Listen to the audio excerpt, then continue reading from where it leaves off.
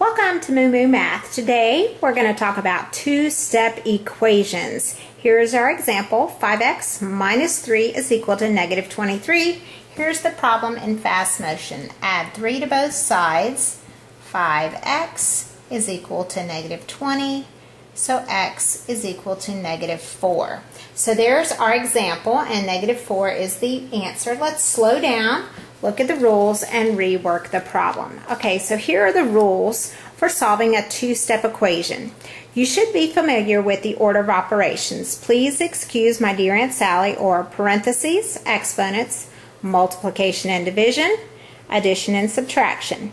To solve a two-step equation, you're actually going to undo the order of operations, so you actually work this backwards. You add and subtract first, then you multiply and divide, then you work any exponents, and then parentheses. Okay, a couple tips on solving two-step equations. Do one step at a time, apply the rule to both sides, and then bring down each time. So let's go through these the steps, the order of operations, and use our tips. Okay, I'm going to go back, and in slow-mo, we're going to work this problem.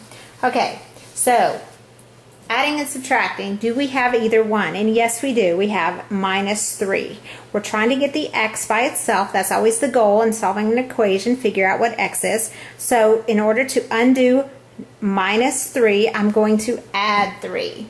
So add 3 to both sides, draw the line, and bring it down. So negative 3 plus 3 is 0. We've created um, a 0, so now we have 5x on the left side and negative 23 plus 3. Different signs subtract and take the sign of more. We have more negatives. And so we have 5x is equal to negative 20. Again, in order of operations, after we've done adding and subtracting, we go to the multiplication and division step. So we're going to multiply 5 times x. I'm going to undo it with division. 5 5 cancel.